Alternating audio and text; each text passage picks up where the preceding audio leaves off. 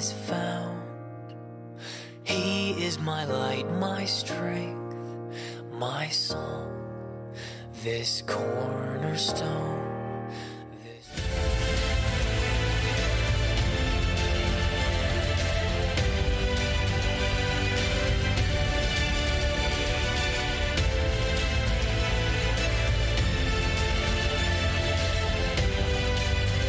Inspired on Liberty Radio.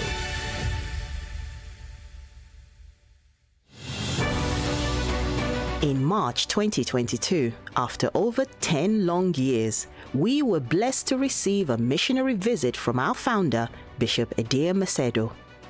That meeting was unforgettable, and those who came were definitely inspired and renewed in their faith. the Spirit of the Lord Jesus Christ is here to unite you with Him. Receive the Spirit of Jesus Christ. The message was simple we must have a defined faith in our living God. When you manifest your faith, everything is possible for you. Faith is the Spirit of God inside us. Bishop Macedo is returning to the UK for another visit, and this time around, we are excited as to what the Holy Spirit will bring to his people. Whether you were there or you missed out on his first visit, you do not want to allow anything to hinder you this time. Bishop Macedo's second missionary visit of 2022. Sunday, 30th October at 10 a.m. Only at 232 Seven Sisters Road, Finsbury Park, London, N4 3NX. Spread the word and invite your loved ones.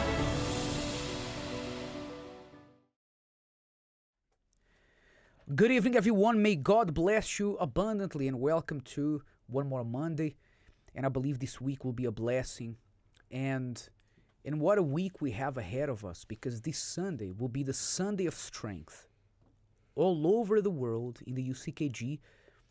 And in this Sunday of strength, God has blessed us with the visit of Bishop Macedo, who will be here to bring a word of God to us. I was saying to the people here on Sunday that even though the, the service that Bishop Macedo did here last time was in March, I still remember, I still have recorded in my mind the message that he gave there in the service. Because I believe God really spoke to us. And it will be no different this Sunday at 10 o'clock. We have many of our members from different churches will be here. And I want to invite actually uh, you who are watching us to bring with you on Sunday a friend, to bring a family member for the Sunday of Strength. By the way, we have a lot of people here connected. We have here Tiwonge from Catford, uh, Pastor Renato from Liverpool, Carla from Nottingham, Tamiris from Bullring, Kevin from Liverpool, Sarah from Edmonton, Hirondina Tavares from Leeds. In fact, uh, people of Leeds, I will be going to Leeds to do a service there on Monday, Monday the 8th, I believe, if my memory doesn't fail me. I'll be there Monday night, uh, Monday the 8th of November to bless the people there. Sabrina from Stratford. But I, I want to know uh, from you uh, if you will be here with us this Sunday at 10 o'clock. Let us know here in the chat if you'll be with us here on, on Sunday. Look what the Bible says in the book of Proverbs, chapter 24, verse 10. If you faint in the day of adversity, your strength is small. How many times we have heard people say, I'm strong, Bishop. Pastor, I'm strong. Pastor, count on me for everything, no matter what happens. I will not abandon the faith. And many times, Pastor Miguel, these are the same people that when a problem arises, they say, Pastor, I'm thinking of giving up. I don't think I can hold on much longer. In reality, that person is lacking the strength that comes from the throne of God that is given by the Holy Spirit. Even though the many people are in the church, but they still lack this strength. And this is why Sunday, all over the world, will be the Sunday of strength. And as we said, we are blessed with the message of Bishop Macedo and the presence of Bishop Macedo, who can speak about strength not only from the Bible, because one thing is you speak about strength based on what you read in the Bible. Another thing is if you've watched, and we all have watched uh, Bishop Macedo's movies, Nothing to Lose One and Two, if we've read his books, and I've read all of all of the, the, the biography, the, the four books there's a fourth at the beginning. We, we see this that he not only spoke of strength, but he lived this strength when he was persecuted, when everything turned against him. And this strength comes from the Holy Spirit. And this strength is available, Pastor Miguel, for everybody, not just for Bishop Macedo, not just for me, for you, for the assistants, but for everybody who has the Spirit of God. And Sunday, this is what we are proposing for people to receive the Spirit of God, not just the strength of God, not only on their lips, but in their life, so that this verse can become true. If you faint in the day of adversity, your strength is small. We don't need strength for when the days are good. We need strength for when the days are bad. Exactly. Is when the day is bad that the strength I have will be measured. It's on the day of difficulties that we are going to show whom we truly are. It's pretty similar, Bishop, to what we were talking about a few weeks ago, two weeks ago. That is on the moments of hardship that we are going to either smell the beautiful aroma of God or we are going to be smelling bad. The strength is pretty similar. On the difficult moments is when I need the strength of God the most. And when I have the strength of God, when I am possessed by the strength of God, I will overcome in the difficult moments. Actually, when we look at the Bible and Bishop Macedo's life, shows that nowadays, the greatest testimonies of the Bible are victories that were conquered in moments of difficulties. Mm-hmm. Because those men of God showed the strength that they had in God, from God, in the most difficult moments of their lives. Bishop Macedo, as you said, is a living example that when you have the strength of God in you, instead of fainting in the day of adversity, you are going to turn the day of adversity your testimony. That's right. Remember, the strength of God is not for when things are smooth sailing. The strength of God is for the day of trouble. That's what the Spirit of God comes to do to make us stand in the day of trouble. And like Pastor Miguel said here, and we have been speaking about the past few weeks, when we are the perfume of the Lord Jesus, when we are squeezed and crushed by this world, the perfume of God is released in our life. When we are not, then we show that it was the world that we had in us all along. Now, we're going to watch a testimony of someone who is a living witness of the result of being faithful to God in our tithe. On Sunday the 6th, we are going to be honoring God with our tithe and, f- and that day will be a division in the church, a division of before and a division of afterwards, because we are raising up a church of people who honor God. From, from that day, if you were, you know, patchy, if you were patchy, to say the least, in your faithfulness towards God, from this day we are saying, My Lord, you can count on your church, on your people to honor you no matter what. Let's see what happened to Ana Paula here from Finsbury Park as a result of being faithful in her tithe.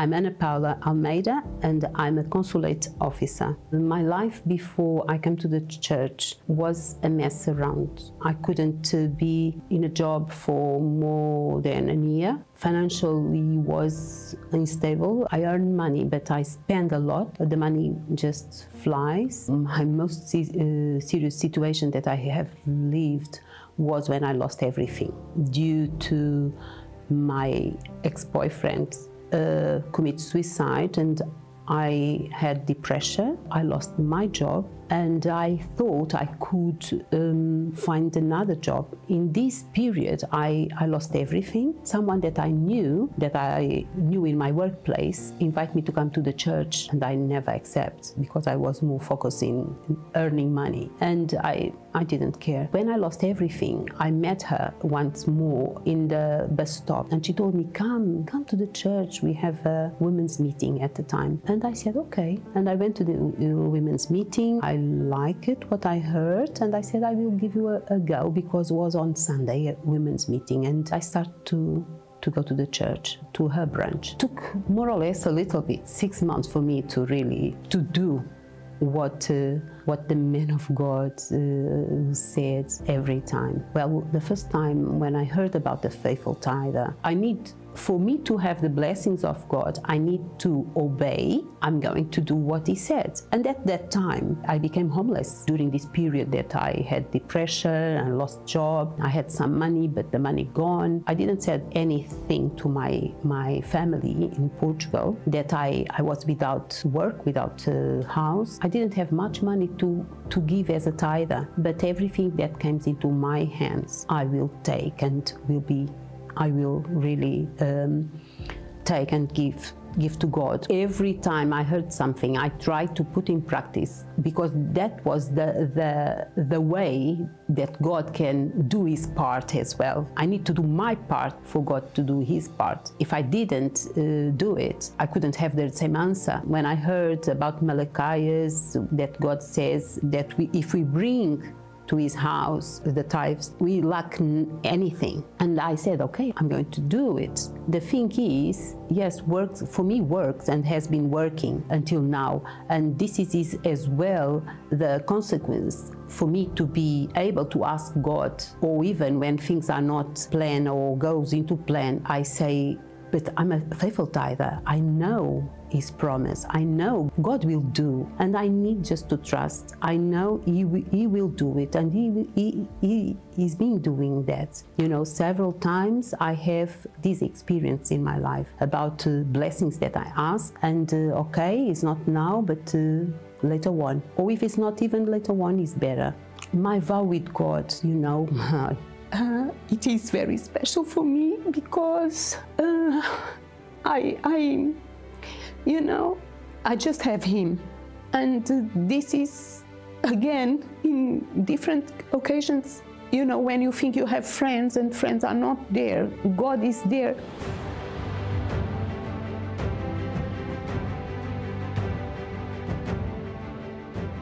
Well, when I start to have a pact with God as being a faithful tither, it is, you know, things are start to to happening. Blessing situations that were unsolved and now is like is, is moving forward. My life now it's uh, is completely different. Obviously, I'm more calm. I have a new job, the job that I I was looking for. There is a purpose. Now I know how to handle situations. During this crisis, I have been honored by uh, as, as being a faithful tither. One of the things was during the pandemic, uh, you know, I wasn't working. I had a salary, an entire, a full amount of salary for three months. I wasn't working at all and I was paid full salary. The first fruits for me, it's, uh, it's a very important thing in my life. It is a beginning of everything, beginning of, of uh, loyalty, respect. Is like a relation of father and son, you know, that nothing can break. And if you have this relationship with God, first fruits is incredible. You feel secure, you feel nothing. You, you can see like the mountain is trying to fall on you, but doesn't. doesn't uh, lock you down because you have that pact with God. First Him and second you. The comparison between me before being a faithful tither and now is like I look someone and it's like oh she's losing she doesn't she doesn't know what she could have i'm feeling very blessed not feeling i am blessed I'm very grateful for the assistant who never give up on me. you know, insisting, inviting. When you know how to walk, you you walk faster, you know. And before, without without God, we don't know how to walk. And with God, you you, you can you can jump.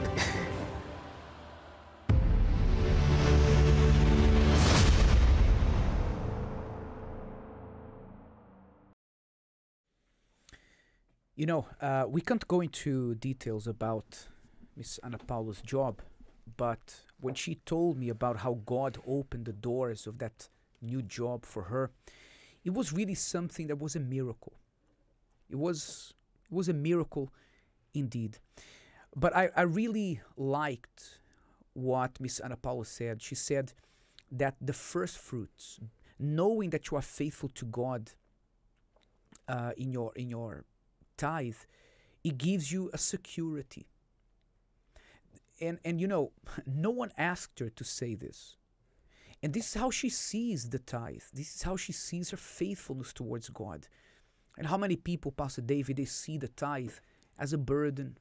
They see the tithe as something that they, if they could get out of, they would. But Miss Ana Paula, she sees the tithe as her security. It's like her safety net. No, no, eh, because I am faithful to God, I can rest assured that He's going to look after me. and and he- you have to remember, Bishop, that the tithe and presenting the first fruits is attached to a promise. Not that we are faithful tithers because of the promise. We're faithful because we want to be faithful to our God, but it is a promise, and that's where the security comes in. God has promised to take care of those who present to Him their first fruits, and mathematically speaking, logically speaking, it doesn't make sense. You you present you know, the first 10%, you're meant to have much less than what you would have if you didn't.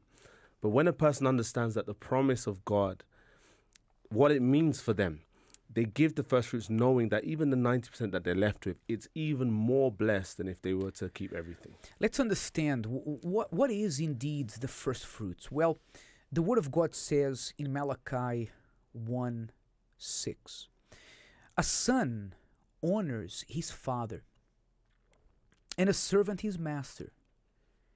If then I am the father, where is my honor? When we present our tithe, our faithfulness to God, we are honoring God. You're not, you know, delete from your memory the sentence paying tithe. There is no such thing as paying tithe. To pay for something is when you're when you're buying something that you know you, you want to keep. The tithe is returning to God something that that was always His in the first place.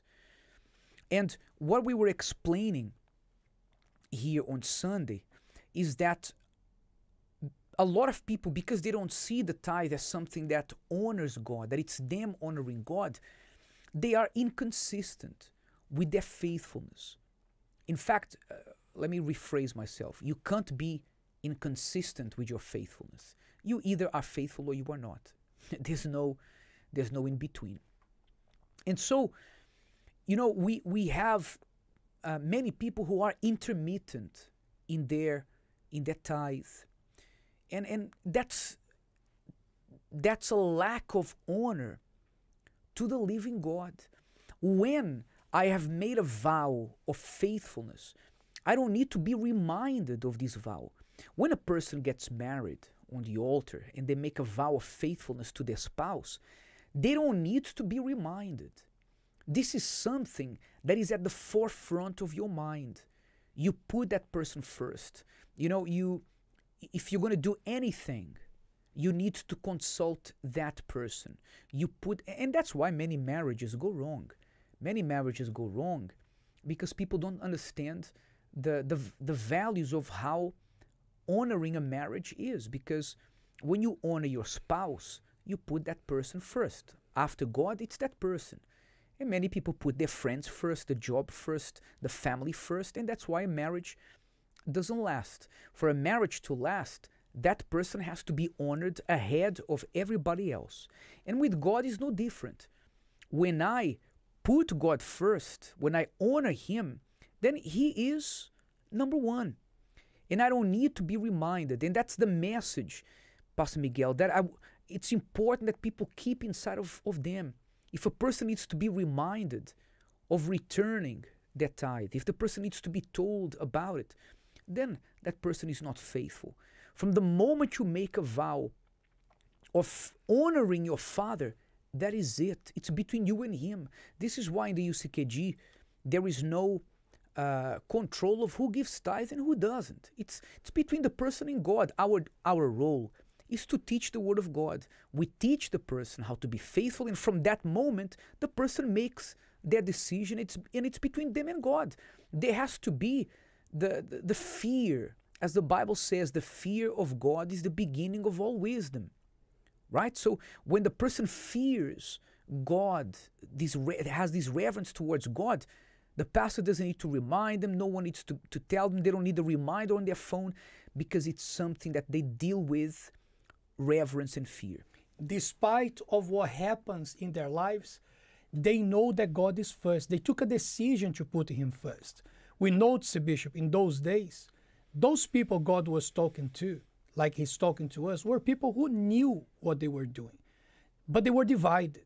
God could have asked them anything, but he touched on the subject honor, on putting him first.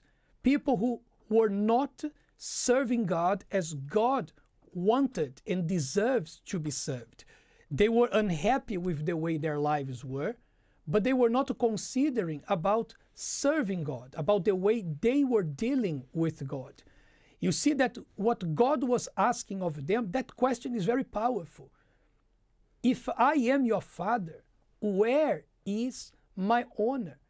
All that God is demanding from us is to set Him first as the center of our decisions. When God is first in my life, and I can't be deceiving myself, He is the center of my decisions.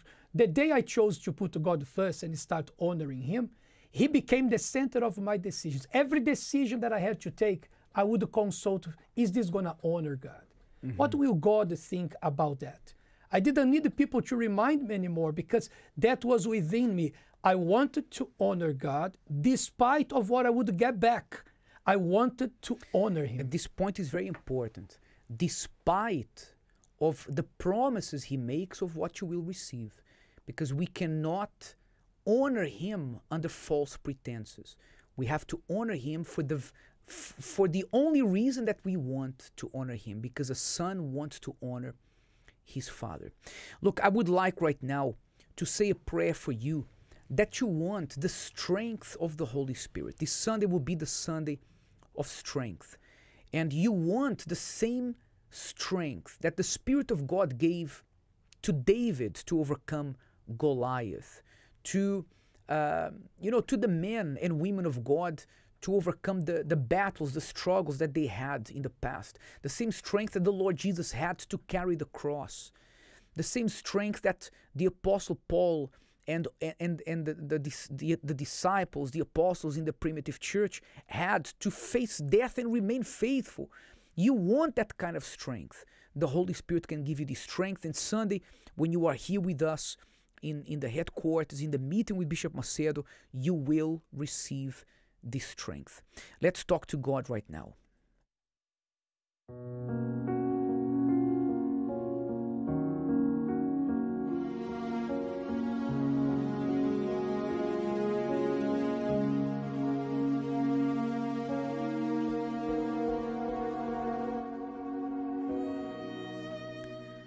My Lord, in the name of the Lord Jesus, I present to you right now all of those who are in need of strength here in this world. And I would say that all of us are, myself included. Because even those who have your spirit, they understand that strength comes from you, from the living God. But there are some who need strength more than others. My Lord, there are those who are going right now through some of the most difficult times of their lives. People who have lost a loved one, people who have a loved one in hospital, people who have received the news that they've become redundant from their job, They were fired from their job. They lost their security. But, like Ana Paula said, the first fruits are my security. Let this person remember that you are the safety net, you are the security. My Lord, like you filled your servants with your spirit, and they had the strength to face the battles in this life, the, the, the difficult situations in this life. You, you led them to go forward and overcome all the situations that they were facing. Give strength to this person as well, my Lord. This person who wants to never turn their back on the decision they made to follow you. They never want to go back to the world. My Lord, be with this person, strengthen this person, that, and that this Sunday, those who will be here with us, and even those who will not, who for some reason are, are, are watching us from, from very far, that this Sunday your spirit may strengthen them. Those who are watching us from abroad, that there in their church, your spirit may enter their life in the name of the Lord Jesus. We bless them. We bless these people in the name of the Father, of the Son, and of the Holy Spirit. Amen. Praise God. Amen. Amen. Amen. This is it. And I want to ask you, especially this Sunday, bring with you someone to the church who is in need of the strength of God, someone who's thinking of giving up, someone who's at their wits' end, someone who's given up on life. Bring that person with you to the church this Sunday, in this in the, the Sunday of strength, because when the man of God there from the altar is passing the faith, the Spirit of God to those who believe, those people who will be present will receive the strength of God. All right? This week we'll be talking more about faithfulness, about honoring God, about strength. Join us every night, 10 o'clock, live here from our studios. We'll be back with you again tomorrow. May God bless you. Bye bye thank you.